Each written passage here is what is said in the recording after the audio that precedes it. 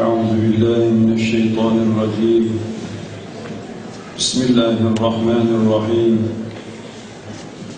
الحمد لله رب العالمين والصلاة والسلام على رسولنا محمد وعلى آله وصحبه أجمعين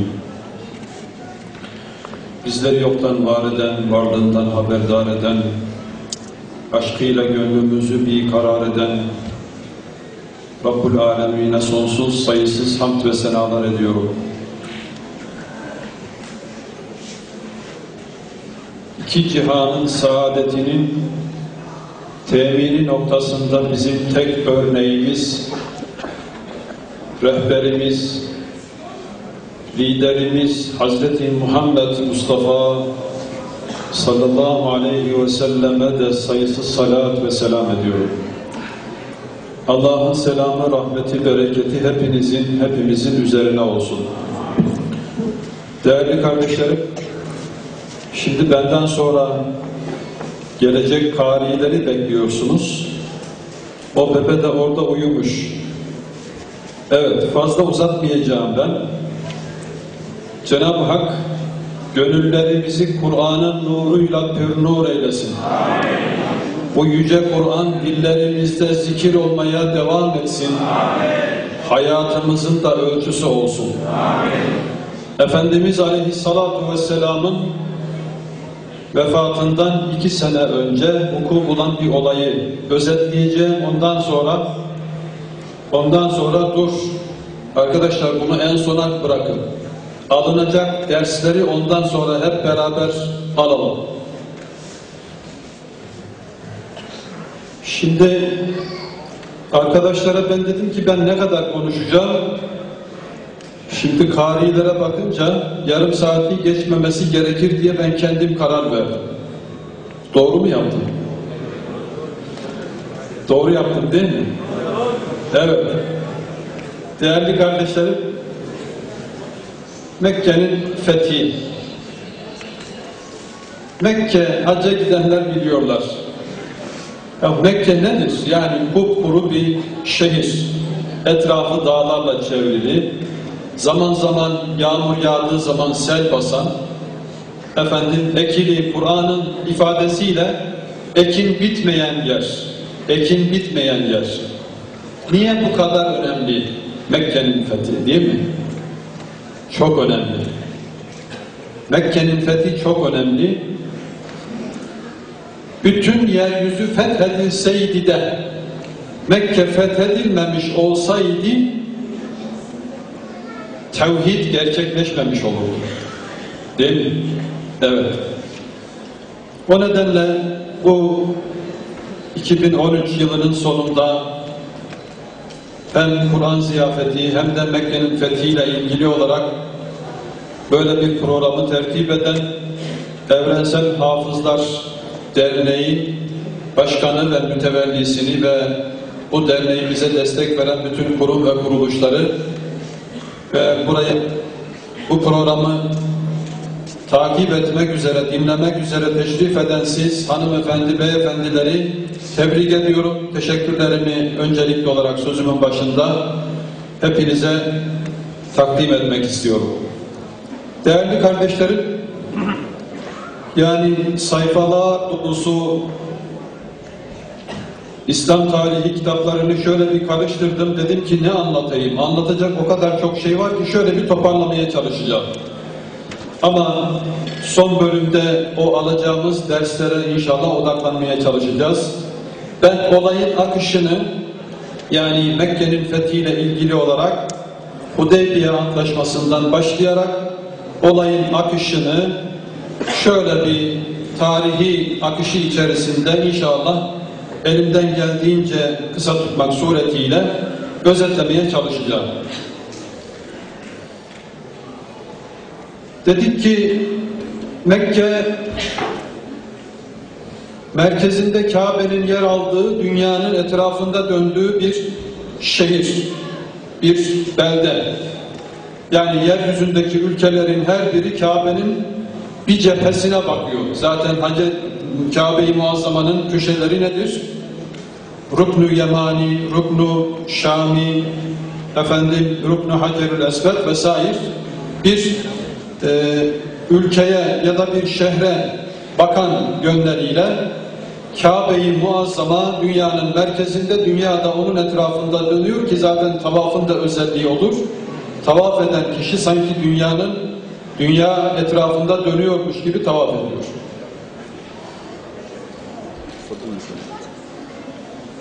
Mekke-i Mükerreme'nin özelliği Beytullah'ı bünyesinde taşımasıdır tabiatıyla. Ve Beytullah da Cenab-ı Hak Teala ve Tekaddes Hazretlerinin vahdaniyetinin simgesi ve bizim kıblegahımızdır, kıblemizdir. Yani dünya Müslümanları asırlardan bu yana ezanın hiçbir an dinmediği, susmadığı gece ve gündüz hiçbir an ezanın susmadığı ve ibadetten hali olmayan yeryüzündeki zaman dilimi içerisinde biz bütün dünya Müslümanları tevhidi gerçekleştiriyoruz. Hep beraber Kabe-i Muazzama'ya dönmek suretiyle. Mekke-i Mükerreme Efendimiz Aleyhissalatu Vesselam'ın doğduğu sadece Efendimizin değil İslam'ın doğduğu belde, şehir biliyorsunuz. Mekke'nin bir diğer adı Kur'an-ı Kerim'deki ifadesiyle Ümmül Kura, şehirlerin anası. Mekke'nin fethi bir sene öncesinden dedik ki Mekke'nin fethi Efendimizin vefatından iki sene önce vuku bulan e, çok önemli bir olaydır. Yani Efendimiz Aleyhisselatü Vesselam'ın Medine'yi teşrifinin, Medine'ye hicretlerinin sahabe-i güzin efendilerimizle beraber 8. seneyi devriyesinde, 8. senesinde vuku bulmuş ve e, bu olaydan iki sene sonra Efendimizin vefat ettiği önemli bir hadise. Mekke'nin fethinden bir sene önce Hudeybiye Antlaşması vuku buluyor. Hudeybiye Antlaşması'nı ayrı bir ders olarak aslında anlamak gerekir. Hudeybiye Antlaşması'nda Cenab-ı Hak Teala ve Tekaddes Hazretleri Efendimizin gördüğü bir rüya üzerine لَقَدْ صَدَقَ اللّٰهُ رَسُولَهُ رُؤْيَا diye başlayan ayeti kerimesiyle senin لَقَدْ صَدَقَ اللّٰهُ رَسُولَهُ رُؤْيَا بِالْحَقِّ ee, muhakkak Allah Resulü'nün rüyasını gerçekleştirecek, gerçek olarak yaşatacak diyerek müjdelediği Mekke'yi mükerremeye efendim gidip umre ibadetini yapma noktasında bu gördüğü rüya üzerine sahabe-i güzin efendilerimizi toplayıp Mekke'nin fethinden bir sene önce yola çıkıp deve işaretlenmiş kurbanlık develerini, hayvanlarını da beraberlerinde alıp Hudeybiye'ye kadar gelip Hudeybiye'de önleri kesilip de buradan öteye gidemezsiniz diyerek müşriklerin önlerini kestiği ve orada 18 bir rivayette 20 gün konakladıktan sonra müşriklerle bir anlaşma yapmak suretiyle tekrar geri dönmek zorunda kaldıkları o anlaşmanın yapıldığı e, mekana izafeten Hudeybiye Antlaşması ve Hudeybiye Musalahası diye İslam tarihine geçen olayla beraber Mekke'nin fethi başlar. Nasıl başlıyor? Mekke'nin fethinden önce gerçekleşen Hudeybiye Antlaşması'nda büyük bir heyecanla Efendimiz Aleyhisselatü Vesselam ve sahabi efendilerimiz çevre çöl, köylerden, badiyelerden gelen bütün mümin mümin ve, ve mümine Müslümanlar hep beraber Hudeybiye'ye kadar geldikten sonra Hudeybiye'de müşriklerin engeliyle karşılaşıyorlar. Orada orada elçi olarak Hazreti Osman'ı gönderiyor. Hazreti Osman'ı rehin alıyorlar. Günlerce yeniden savaşmak üzere Efendimiz'e biat ediyorlar. Neticede bir anlaşmayla mutabakat sağlanıyor ve geriye dönmek zorunda kalıyorlar. Bu geriye dönüşte Hudeybiye anlaşmasıyla ilgili olarak maddeleri şöyle bir gözden geçirip hemen çabucak ardından da bu anlaşma doğrultusunda bir sene sonra gerçekleşen Mekke'nin fethi olayının nasıl başladığına inşallah işaret etmeye çalışalım. Bu anlaşmada Hazreti Ali Efendimiz katip olarak bu anlaşmayı yazan Müslümanların tarafındaki katip bu anlaşmada altı tane mutabakata varılan anlaşma var. 10 yıl süreyle taraflar arasında savaş olmayacak. İnsanlar birbirlerine karşı güvende olacaklar. Yani güvenlik anlaşması yapıyorlar. Peygamber aleyhissalatu vesselam bu yıl geri dönecek sahabeyle beraber ancak gelecek yıl içerisinde Mekke'ye gelebilecek silahsız sadece yolcu silahlı silahlarıyla beraber ve üç günden fazla kalamayacak Kureyşlilerden kim velisinin izni olmadan Muhammed'e sığınırsa o geri iade edilecek ama Müslümanlardan birisi müşriklere sığınırsa o geri iade edilmeyecek. Peygamber ile aralarındaki düşmanlıklar örtülecek, hainlik yapılmayacak, hırsızlık yapılmayacak ve son olarak da kim Muhammed isterse girebilecekler, kim de müşriklerle anlaşmak isterse anlaşacaklar. Bu anlaşmalar yapılıyor. Bu anlaşmanın akabinde Hazreti Ömer radıyallahu anh'ın çok şiddetli tepkisi var malum. Nasıl olur biz böyle bir Müslümanların aleyhine olan bir anlaşmaya imza atarız diyerek Efendimiz aleyhissalatu vesselam'a itiraz ediyor. Hatta kendi ifadesiyle mümin olduktan sonra imanımı sorguladığım an o andır diyor. O kadar tepki gösteriyor bu anlaşmaya. Çünkü anlaşmanın hem maddeleri hem de hem de anlaşmanın imzalanış şeklinde hakikaten insanı rahatsız eden, görüntüde, görünüşte insanı rahatsız eden bir kısım hususlar var. Mesela Rahman ve Rahim olan Allah'ın adıyla diye başlayacak. Diyor ki müşriğin temsilcisi sözleşme, anlaşmada söz sahibi olan hayır diyor biz Allah'ın adıyla diyeceğiz sadece. Onu kabul etmiyoruz. Efendimiz onu kabul ediyor. Peki öyle yazın diyor. Altında tarafların isimleri yazılırken Allah'ın elçisi Muhammed diyerek yazıyor Efendimiz Aleyhisselatü Vesselam'ın adını. Bunun üzerine yine karşı taraf diyor ki hayır biz senin Muhammed olarak peygamberliğini kabul etmiş olsak zaten bu anlaşmaya gerek yok. Önünüzü de kapatmayız. Yani Mekke'ye de alırız sizi. Peki ne olacak? Abdullah'ın oğlu Muhammed yazılacak diyor. Gerçekten Efendimiz onu da kabul ediyor. Hazreti Ali onu silip de o şekilde yazmak istemiyor. Efendimiz bizzat kendi eliyle siliyor onu. Ne, neticede bu anlaşma bitiyor ve Efendimiz sahabe beraber orada kurbanlarını kesiyorlar ve tekrar geriye dönmek zorunda kalıyorlar. Bu devriye Mekke'ye çok yakın bir mesafede yani neredeyse Mekke'nin hemen dibinde bir mekan.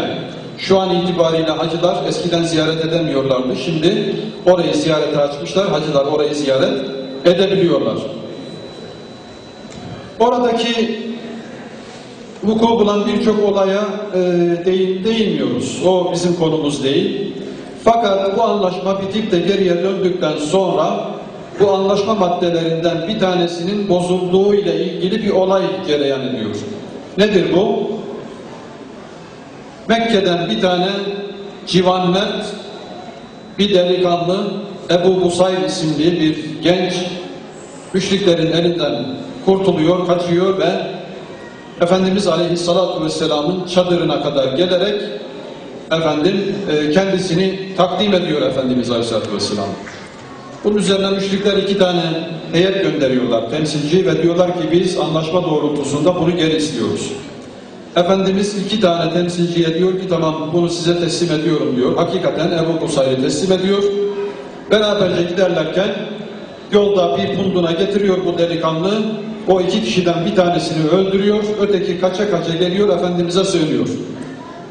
Peşinden de Ebu Busayr geldiğinde Efendimiz diyor ki bu anlaşmayı uygulamak zorundayız. Fakat Ebu Musayir oradan ayrılıyor, gidiyor, müşriklere de gitmiyor. Mekke Medine arasında ormanlık bir alanda efendim Mekke'den kendisi gibi kendisi gibi e, aynı derdi davayı taşıyan, paylaşan arkadaşlarıyla beraber küçük bir ordu oluşturuyor ve neticede hemen daha anlaşmanın akabinde çok uzun bir zaman geçmeden müşrikler diyorlar ki geliyorlar biz anlaşmadaki bu maddeyi iptal ediyoruz. Nedir o? Müşriklerden bir tanesi Muhammed'e geldiği zaman geri iade edilecek ama bir Müslüman müşriklerin eline geçtiği zaman geriye iade edilmeyecek. Bunu iptal ediyoruz diyorlar. Aradan yaklaşık bir sene geçtikten sonra anlaşmanın son maddesinin ihlali söz konusu oluyor. O madde neydi? İsteyen kabile müşriklere tabi olacak, isteyen kabile de Müslümanlara tabi olacak. Benu Bekir kabilesi müşriklere tabi oluyor. Huza kabilesi de Efendimiz Aleyhisselatü Vesselam'a Müslümanlara tabi oluyor.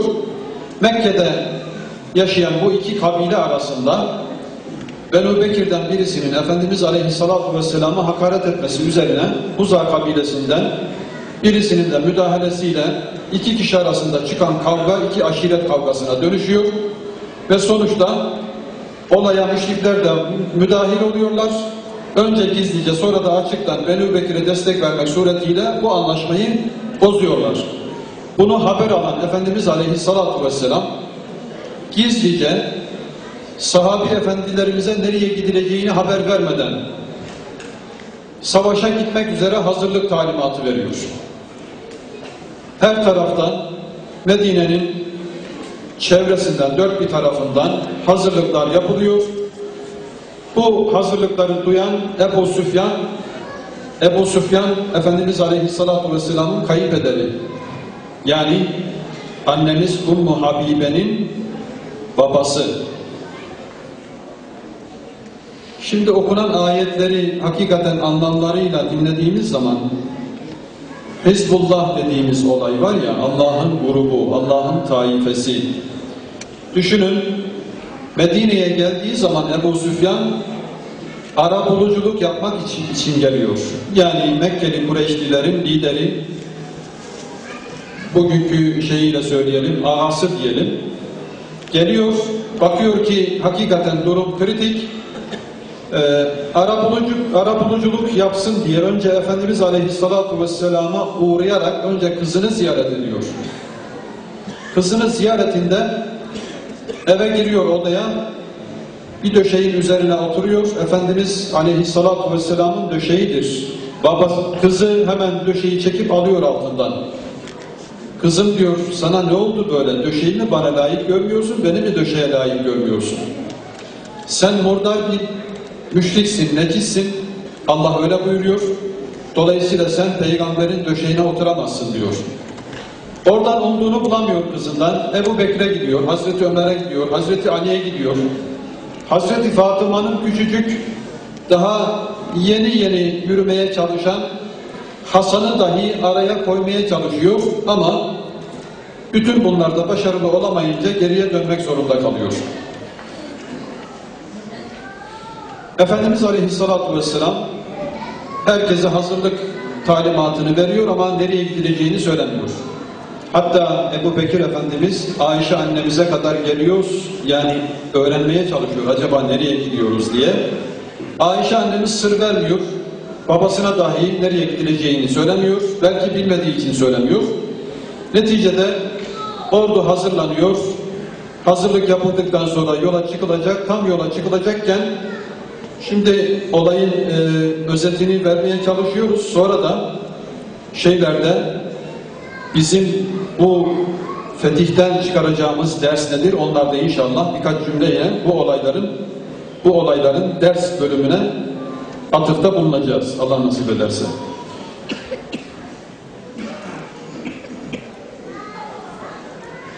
Tam yola çıkacakken Cibril-i Emin Efendimiz Aleyhissalatu Vesselam'a gizli bir mektubun Mekke'ye doğru gönderildiği haberini veriyor.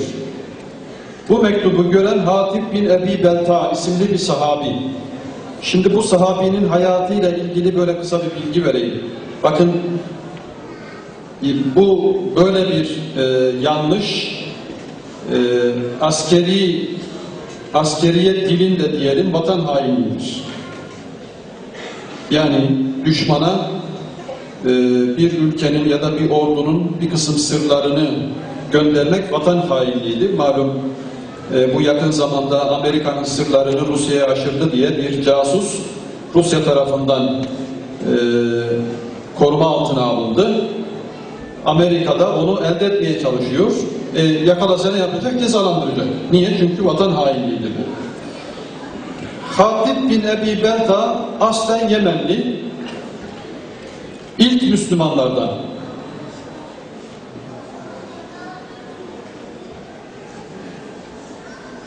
Savaşların hemen hemen tamamında bulunmuş. Bedir Savaşı'nda bulunmuş, Uhud Savaşı'nda bulunmuş.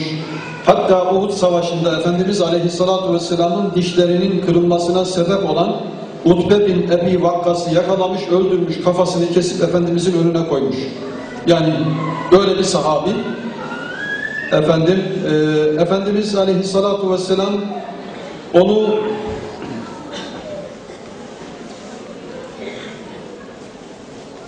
Beni Mustalip gazvesinde Müslümanlar susuz kalınca kuyu kazmakla görevlendirilmiş. Bu görevi yerine getirmiş. Bir mektupla Bizans İmparatorluğu'na tabi Mısır, Mısır mukavkısı Cüreyh bin Mina'ya elçi olarak göndermiş. Orada gerçekten diplomat özelliği olan bir e, sahabi. Orada e, oradaki mukavkıs Efendimiz Aleyhisselatü Vesselam ile ilgili bilgi almak istiyor da diyor ki sizin peygamber olarak bildiğiniz Allah'ın elçisi dediğiniz kişi e, dua edip de düşmanlarını helak ediverse yani dediğinde Hatip diyor ki Tanrılık iddia etmesine rağmen Firavun'un hemen helak edilmediğini, Hazreti İsa'nın kendi memleketinde eza görmesine, Yahudiler tarafından çarmıha gerilmek istenmesine rağmen kavmine beddua etmediğini ve nihayet Allah'ın onu kendi katına aldığını çok güzel bir lisanla anlatmak suretiyle efendim e, Hazreti Peygamber'in böyle bir işte görevlendirilmediğini anlatıyor. Bu cevaplardan memnun kalan Cüreyç kendisine diyor ki hikmetli bir zatın hikmetli elçisisin sen diyor. Neticede Efendimiz Aleyhisselatü Vesselam'ın bir eşi olacak olan Mariye annemizi bir cari olarak beraberinde birçok başka hediyelerle beraber gönderiyor ve e, aslen Efendimizin kabilesinden, Kureyş kabilesinden olan Hatip Mekke'nin fethi için yapılan hazırlıkları öğrendiğinde muhtemel ki Mekke'ye gidileceği konusunda Efendimiz buna çok güvendiği için sır da vermiş olabilir ki bu bir mektupla efendim e, Mekkeli Kureyş'in ileri gelenlerine olayı bir mektupla haber vermek istiyor.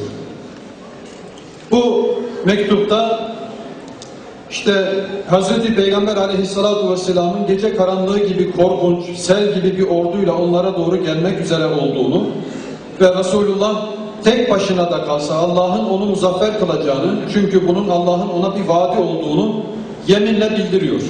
Bu da aslında imanının e, bir tezahürü olarak bu ifadeler mümin olduğunu gösteriyor aslında. Yani insan şöyle düşünebilir. Acaba münafık mıdır? Müslümanların arasındaki bir münafık mıdır? Cibril-i Emin bunu haber verince bu mektubu bir kadınla gönderdiği bu mektubu haber verince yeriyle beraber Efendimiz Aleyhisselatü Vesselam Hazreti Ali ile beraber iki kişiyi gönderiyor. O kadını hakikaten o mekanda yakalıyorlar ve diyorlar ki üzerinde bir mektup var onu bize ver. Önce inkar ediyor sonra arayacağız deyince dönün arkanızı diyor ve saçlarının arasından mektubu çıkarıp veriyor.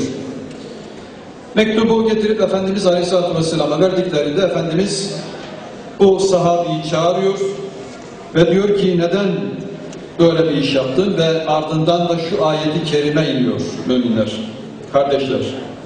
Estağfirullah ya eyyühellezine amenu la tettehizu aduvi ve aduvekum evliya ila ahiril ayet. Ey müminler beni ve sizin benim ve sizin düşmanınız olanları dostlar edinmeyiniz. Ayetin o e, bu olayın üzerine nazil oluyor. Kendisini şu şekilde savunuyor Hatip. Diyor ki Ya Resulallah acele karar vermeyin ne olur. Muhacirlerin hepsi Medine'ye geldiklerinde onların her birerinin geride bıraktıkları aile fertlerine bakacak birileri var. Oysa oysa benim geride kalan yakınlarıma bakacak kimseler yok. Ben sadece ve sadece onların salahını düşünerek, onların iyiliğini düşünerek böyle bir yola başvurma ihtiyacı duydum diyor. Ve bu olay üzerine onu e, öldürmek istiyor Hazreti Ömer. O münafığı öldüreyim müsaade et ya Resulallah diyor. Efendimiz Aleyhisselatü Vesselam izin vermiyor. Diyor ki Bedir ashabıyla ilgili, Bedir Savaşı'na katılanlarla ilgili olarak Cenab-ı Hakk'ın bir vaadi vardır. Onlar hangi günahı işlerlerse işlesinler onları ben affedeceğim diye buyurmuştur. Dolayısıyla dokunmayın ona diyor ve neticede hakikaten ona dokunmuyorlar. İşte böylesine önemli bir sahabinin böyle bir yanlış yapma e, yapması hakikaten insanın e, havsalasının da almadığı bir şey gibi geliyor. Ama netice itibariyle bizim inancımızda günahsız olanlar kimlerdir? Peygamberlerdir. Peygamberler dışında herkes yanlış yapabilir, hata işleyebilir, öyle diyelim. Günah demeyelim de hata işleyebilir.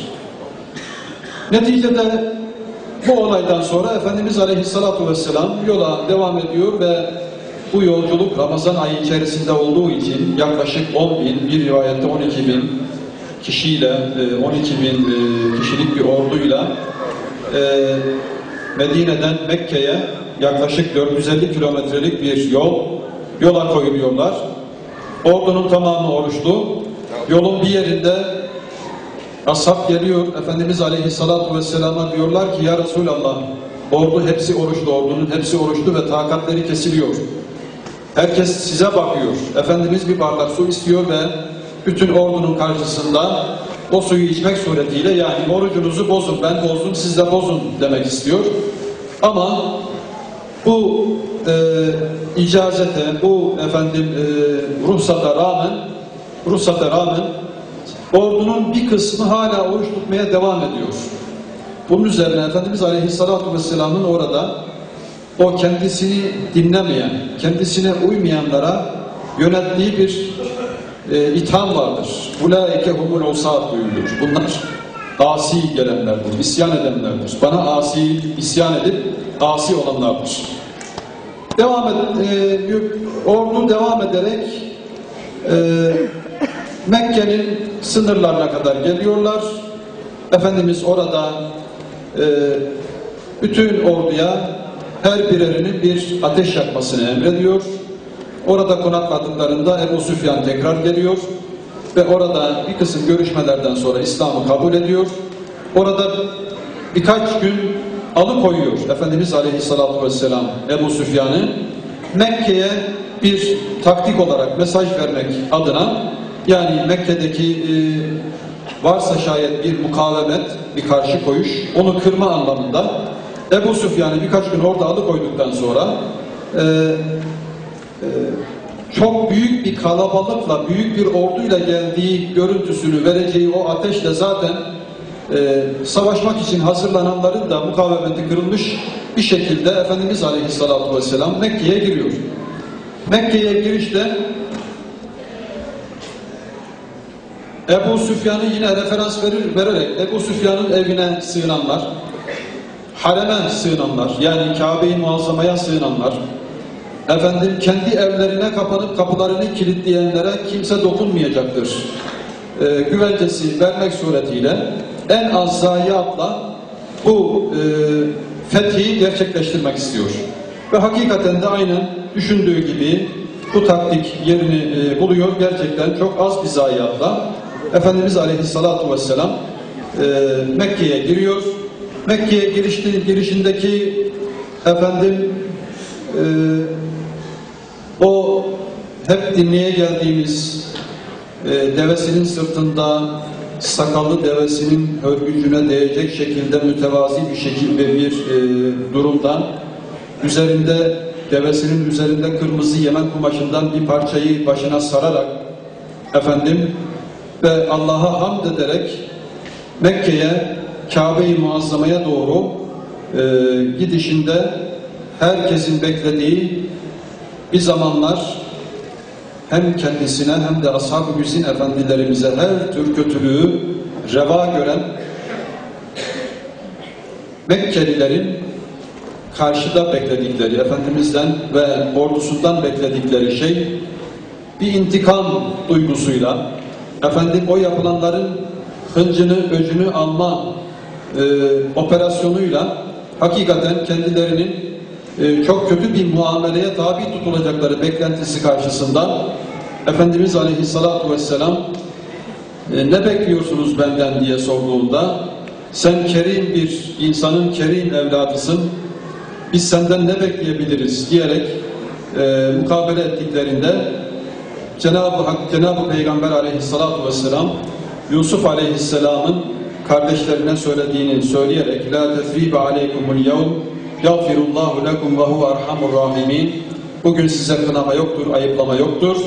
Allah sizi bağışlasın ve Allah Erhamur Rahimindir diyerek mukabele etmesi karşılığında efendim gerçekten e, bir e, bu savaş değil de bu Mekke'ye girişin bir fetih olduğu ki savaşla fetih arasındaki fark budur. E, bizim bizim tarihimizde İstanbul'un fethi diyoruz. İstanbul'un fethi İstanbul'a giren Fatih de aynı şeyi devam ettirmiş. Ee, Avni e, mahlasıyla yazdığı şiirlerde, gazelinde intisali cahidu fillah oluktur niyetun dini İslam'ın mücerret gayretidir gayretüm diyerek e, yapmış olduğu savaşın ya da girdiği ülkelerde, şehirlerdeki çabasının gayretinin oraya hakkı, hakikati, adaleti, fazileti götürmek olduğu e, düşüncesinin şiirlerinde de ifade etmiş, davranışlarında da, savaşlarında da ortaya koymuş. Bizim tarihimizdeki savaşların kaynağını Mekke'nin fethi oluşturuyor. Yani Efendimiz Aleyhisselatü Vesselam çok büyük bir kan dökmeyle, intikam duygusuyla ve eylemiyle oraya girebilecekken e, zayiatı en aza indirecek birçok önlemi almak suretiyle o Mekke'ye girmek suretiyle Mekke'de Mekke'de herkese can, mal ve e, hayat güvenliği vermek suretiyle bu fethi tamamlıyor. Kabe-i Muazzama'daki putların kırılması olayı tabi Kabe-i Muazzama'nın e, akıcısı, anahtarı kendisinde olan efendim e, sahabe daha sonra daha henüz iman etmemiş olan e,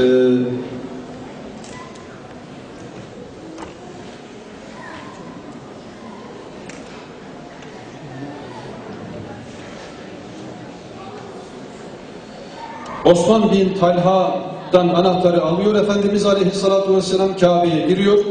Elinde bir değnekle 360 tane putun hepsini وَقُلْ جَاءَ الْحَقُّ وَزَهَقَ الْبَاطِلِ ayetini okumak suretiyle hepsini teker teker teker teker birini öne birini arkaya bu şekliyle bütün putları e, devirdikten sonra Kabe'nin içerisinde hiçbir fotoğraf da bırakmayacak şekilde temizledikten sonra anahtarı tekrar tekrar Osman bin Talha'ya vermek suretiyle bu işin ehli olarak ona anahtarı tevdi ediyor.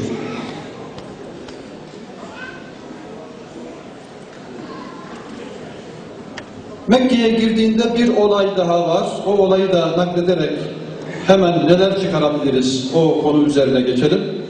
Ee, Safa tepesine çıkıp Allah'ın kendisine lütfettiği bu fethi, bu açık fethi, Cenab-ı Hakk'ın lütfettiği fethin karşılığında şükür e, ifadeleri olarak Allah'a dua ederken Ensardan bir kısım bir kısım e, sahabinin kendi aralarında bir şeyler konuştuğuna şahit oluyor. Efendimiz Aleyhisselatü Vesselam duadan sonra onları toplayarak diyor ki ey ensar topluluğu adamı kasabasına olan özlemi ve aşiretine olan merhametiyle şefkati yakaladı dediniz değil mi? Yani Efendimiz geldi şimdi kendi memleketine, doğduğu beldeye, kovulduğu şehre geldi. Efendim e, kendi aşiretine kavuştu, şimdi artık Medine'ye dönmez anlamında. Kendi aralarındaki bu konuşmayı kendilerine hatırlatıyor. Onlar da diyorlar ki evet biz bunu söyledik ya Resulallah diyor, diyorlar. Bunun üzerine Efendimiz Aleyhisselatü Vesselam şu halde ben kendime ne at vereyim, Hayır ben sadece Allah'ın kulu ve elçisiyim. Allah'a ve size hicret ettim.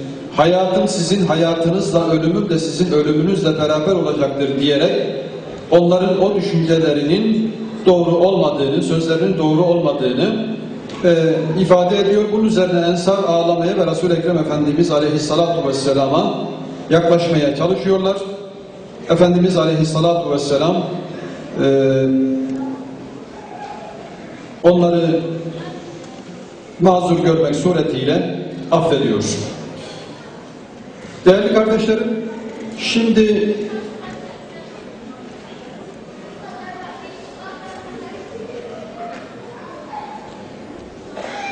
bir olay daha o olayla bitirelim. Zaten Mekke'nin valiliğini yapan valiliğini yapan Attab isimli bir kişi Müslüman olduktan sonra Efendimiz Aleyhisselatü Vesselam tarafından valiliğe devam etmesi noktasında görevi devam ettiriliyor ve hakikaten görevini devam ettiriyor hatta. Ama Efendimiz Aleyhisselatü Vesselam'ın yapmış olduğu çok önemli bir iş daha var. Geriye dönmeden önce Ebu Musa el-Eşari ve Muaz bin Cebel isimli iki alim fakih sahabiyi Mekke'de görevli olarak bırakıyor. Daha sonra Muaz bin Cebel Mekke'nin emiri de oluyor.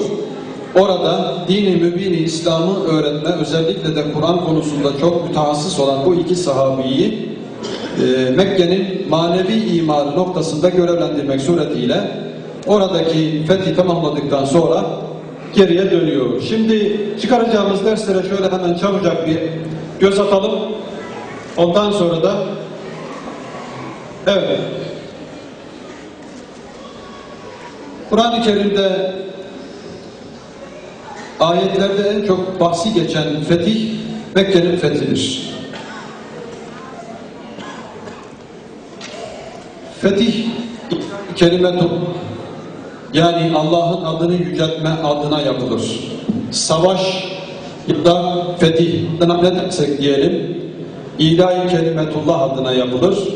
Bizim tarihimiz hep e, bu dertle, bu e, düsturla, bu idealle yapılan savaşlarla dolu. Hadis-i şerifte bir Arabi Efendimiz'e soruyor. Diyor ki bir adam şan şöhret için, övünmek için, dünyalık elde etmek için ganimet geçiyor hadiste. Ya da kahramanlık için savaşıyor. Bunlardan hangisi hangisi doğrudur? Hangisi Allah yolundadır? Efendimiz buyuruyorlar ki Men katele hatta tekune kelimetullahi hiye a'la fehuve fi sebilillahi azze ve celle. Allah'ın adını yüceltmek için savaşıyorsa o ancak ve ancak e, Allah yolunda savaşıyor demektir. Devam ediyoruz. Devam. Müslümanlar fert ve devlet olarak dünyanın herhangi bir yerindeki Müslümanların dert ve sıkıntılarına çare olmaya çalışmalıdır. Huza kabilesi Mekke'de anlaşmanın anlaşmaya muhalif olarak anlaşmaya aykırı bir şekilde zarara uğradığında Efendimiz Aleyhisselatü Vesselam sadece bu gerekçeyle savaşa çıkıyor. Dikkat edin. Yani iki kişi arasındaki kavga iki aşiret kavgasına dönüştüğünde Efendimiz Aleyhisselatü Vesselam Müslümanların yanında yer almak üzere harekete geçiyor. Hudeybiye Antlaşması fethin önünü açmıştır. Askeri dersler olarak fethin gizlilik içerisinde yapılması önemlidir. Bunu bu gizliliği ihlal eden bir tek sahabi onu söyledik. Medine'den daire çizilerek çıkılmış. Mekke'ye girişte ateş yakılması, Mekke'ye birkaç koldan girilmesi, Mekke lideri Ebu Süfyan'ın etkisizleştirilmesi, en az zayiat için ne gerekiyorsa yapılması, bütün bunlar Efendimiz Aleyhisselatü Vesselam'ın peygamber olmanın yanında insani, insani bütün özellikleri de bünyesinde topladığı, yani iyi bir askeri deha olduğu ile ilgili tespitler. Fetih, kaybedilen toprakların alınması, yapılanların intikamının alınması değildir. Yani biz Mekke'de çoluğumuzu, çocuğumuzu bıraktık, bahçelerimizi, işimizi, gücümüzü bıraktık. Onları tekrar alalım diye gelmediler. Ya da bize çektirmedik, bırakmadılar. Yapmadık, etmedik, yapmadılar. Her tür hakareti, işkenceyi, Hatta öldürmeye varıncaya kadar her şeyi reva gördüler. Biz bunun intikamını alalım diye yola çıkıp gelmediler. Tam tersine rahmetle geldiler. Sır if- ifşa edilmez.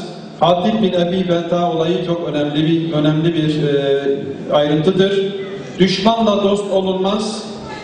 Annemiz Ümmü Habibe'nin babasına gösterdiği tepki, babası iman etmediği için ama daha sonra Ebu Süfyan biliyorsunuz iman etmiş ve Yermük Savaşı'nda 70 yaşında olmasına rağmen İslam askerlerini ekrana getirmek için şiirler okuyarak Müslümanları Müslümanları savaşa teşvik etmiş.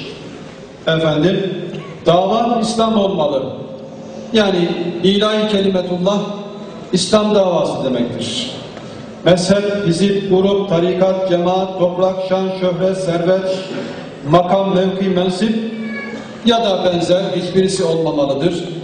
Yani orada kendi ailesini korumak için, kendi ailesinin selameti için bir orduyu helak etme durumuna gelebilirdi olay. Cibril Emin haber vermemiş olsaydı. Ümmet menfaati diğer menfaatlerin üzerinde olmalıdır.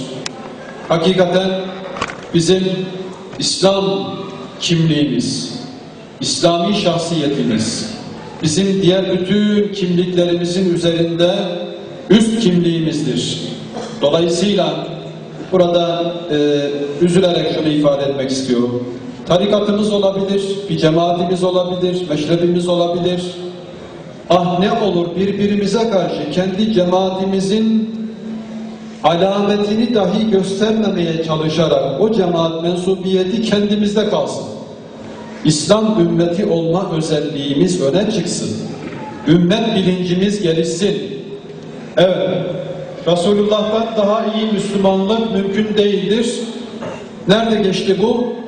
Efendimiz orucunu açtığı halde, orucunu bozduğu halde birileri oruç, orucunu bozmamakta ısrar etti. Efendimiz de ne buyurdu? Bunlar isyankarlardır, asilerdir.